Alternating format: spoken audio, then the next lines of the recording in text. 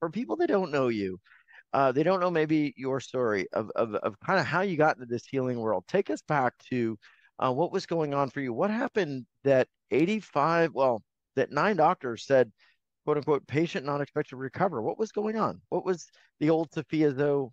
What was happening to her? Uh, well, I, I was in a collision where I was going about 50 kilometers an hour. I'm in Canada.